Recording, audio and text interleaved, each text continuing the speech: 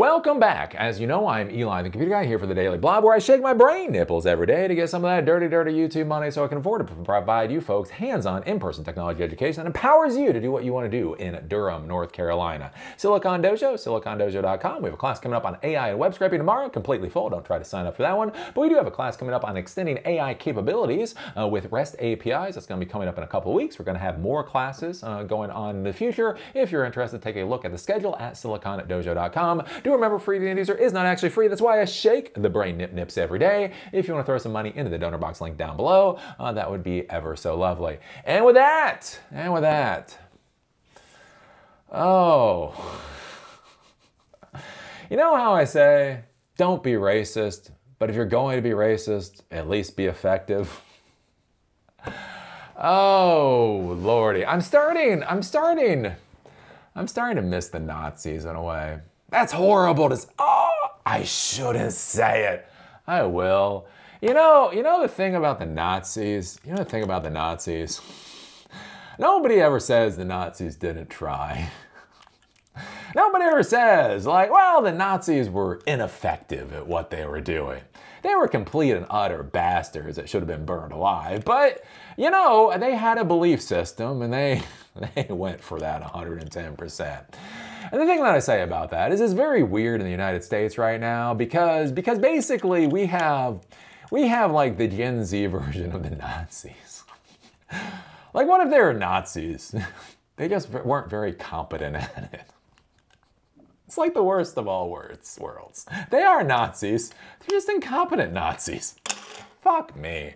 So anyways, as I've talked about with the whole US idiocy as far as China is concerned is we have this whole containment policy towards China, right? Under the Obama administration, the, the Pacific Pivot, Trans-Pacific Partnership. Under uh, under uh, Biden, we have the whole um, AI diffusion rules, trying to keep them from getting artificial intelligence.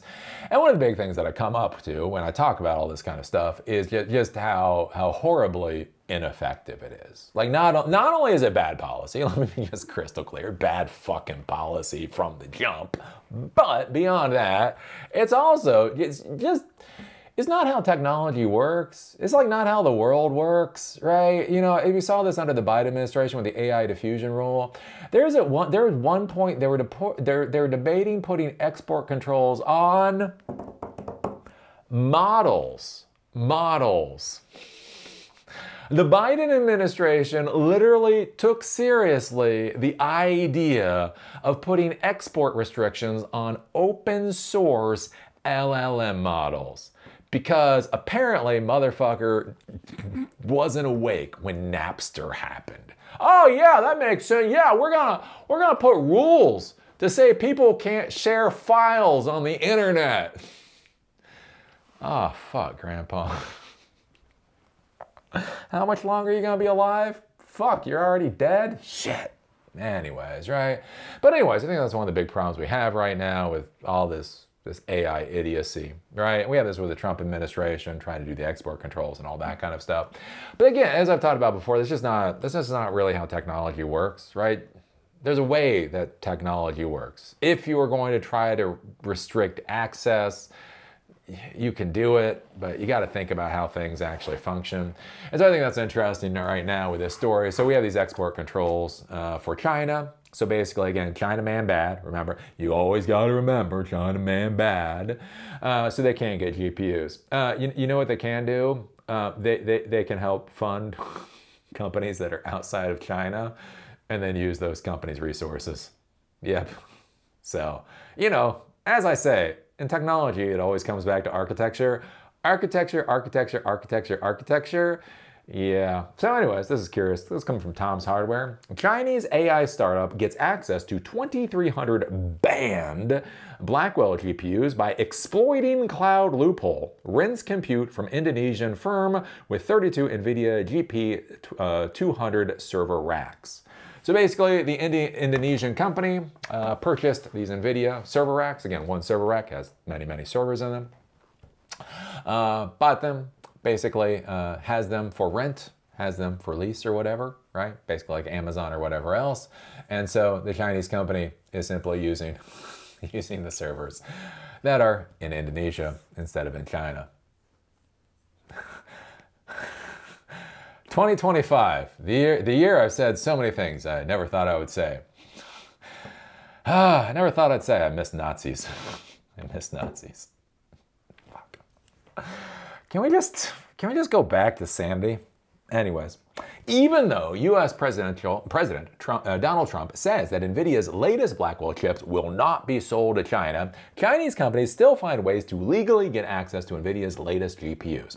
According to an investigation by the Wall Street Journal, INF Tech, a Shanghai-based startup developing AI for finance and health applications, gained access to 2,300 banned NVIDIA AI GPUs operated by a company in Jakarta, Indonesia. This move may seem illegal, especially amid all the rhetoric from Washington, D.C. and Beijing, but lawyers say it's completely legal. Yay! As I've said, as I've said many times, if you really, if you really want to be on the cusp of innovation in the technology world for about the next 20 years, get your MBA or your Juris Doctor. That's where the interesting innovation is occurring. An Indonesian telecommunications company, Indosat, or Ooredoo, uh, Hutchinson acquired 32 NVIDIA GB200 server racks from Aivres, with each rack containing 72 Blackwell chips. This amounts to 2,304 GPUs. This is a massive deal for the Indonesian company, amounting to about $100 million. Indosat did not buy the GPUs without first securing a customer. So that was very good of them. Before they bought all these GPUs, they secured a customer. According to the Wall Street Journal, sources say Aivres found a client for the Indonesian telco, first with INF Tech. This startup was founded by uh, Qi Yuan, a Chinese-born American citizen who also heads the AI Institute at Fudan University. It was even said that the university had representatives during the negotiation between INF Tech and Indostat, although INF Tech has the uh, was the signatory of the contract. With the contract signed, Indostat proceeded with the purchase, with the servers being installed at its site in Jakarta as of as of October 2025.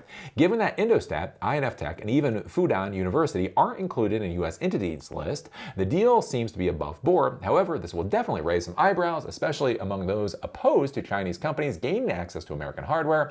After all, they say that even though the Chinese companies may not work with the CCP and its military right now, Beijing can compel any corporation to cooperate with the state.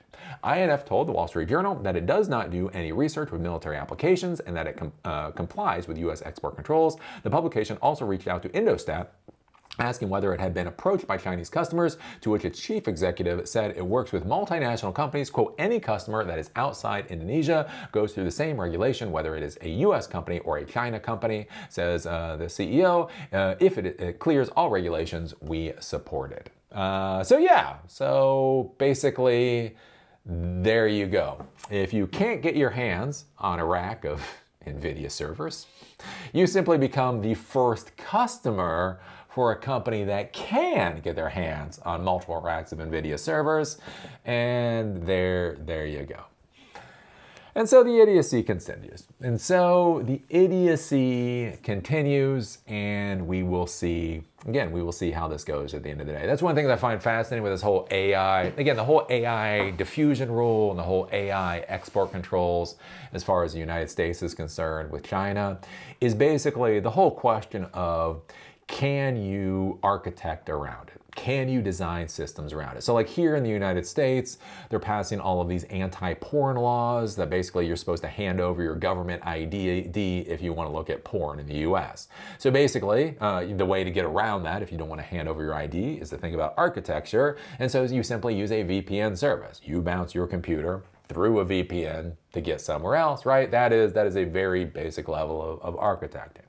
And that's one of the questions I have with trying to prevent uh, China from, from um, you know, improving in the AI quote unquote arms race is the whole question of simply can they architect around it?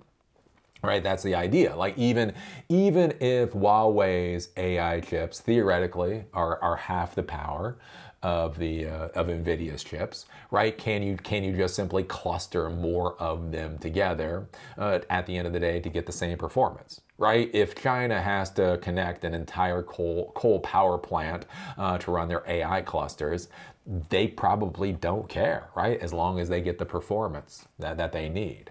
Uh, the other thing, again, to be thinking about with architecting is that training models, training models uh, requires the most resources. Uh, actually running uh, models, inference, uh, requires very few resources. So even if you had, if, even if they had big models that they wanted to train on NVIDIA for some reason, can they simply, can they simply exfiltrate out the data somewhere else do the training on somebody else's systems, bring the model back, and then just run the models inside of China, right? We saw this before. I did an article talking about where. Uh, oh, there are these Chinese folks that literally, they took like 32 hard drives or 30 hard drives. It was like 30 hard drives of data. They hopped on a plane. I think they might have gone to Indonesia too, or Malaysia. Anyways, they hopped on a plane. They went to a different country. They plugged the hard drives into the infrastructure. They trained the model using those people's hardware. They got the model back. They hopped on the airplane and they went back home, right? Again, sneak, sneaker net for the AI world. It's no longer SneakerNet. It's like JeepNet or something in order to take all the uh, the stuff. And again, it's that it's that very curious question of you know, can can policy keep up with architecture? And at what point does all of this just just become a fucking sad ass joke? Um, is the question. Is the question that I have. So what do you think about this? What do you think about a Chinese AI startup essentially guaranteeing revenue for an Indonesian company. So that Indonesian company can go out and buy 32 racks of uh, NVIDIA servers, and uh, it seems to be all above board. Do you, do, do you think this is the plan that either Biden or Trump was imagining uh, way back when, when all this dipshittery started? Um, how, do you, how do you feel about all of this? How do you feel oh God, it's only gonna get worse. You know, 2026 is gonna be worse. You, you know, you know, you know, you are going to you are going to look back on 2025, and you're gonna be like, I miss, I miss the sunny days of 2025. I don't know. Put your thoughts. Put your thoughts down below. If you like these videos, give us a thumbs up. If you hate them, give us a thumbs down. Call me amazing. Call me a dumbass. Just be a real Lutnick. Put that strong American comment down there. Uh, and with that, do remember what I actually care about is Silicon Dojo. Uh, what is it? Authorityless, gatekeeperless, free to end user hands-on technology education that empowers you to do whatever the hell it is you want to do in Durham, North Carolina. We're having a class on AI and web scraping coming up next week. Or no, coming up a couple of days. I'm tired. This is the last one we're doing today.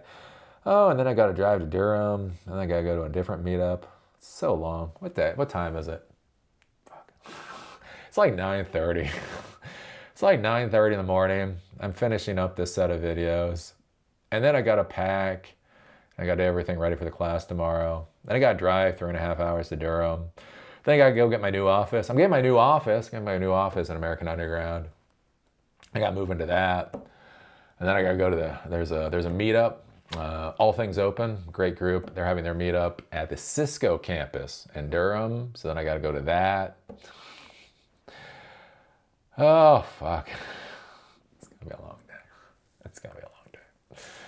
So, anyways, what was I saying? I don't know, something about silicondojo.com. If you're interested in uh, tech classes, uh, go to silicondojo.com to see what our schedule is. Do remember free to the end user? Is not actually free. Gas costs money. Toner Oh my fucking Christ. Do you know how much toner costs nowadays? Fuck not. Fuck not. Anyways, toner costs money. Lots of stuff costs money. So if you'd like to help support Silicon Dojo, there's a toner box link down below. And with that, see y'all later.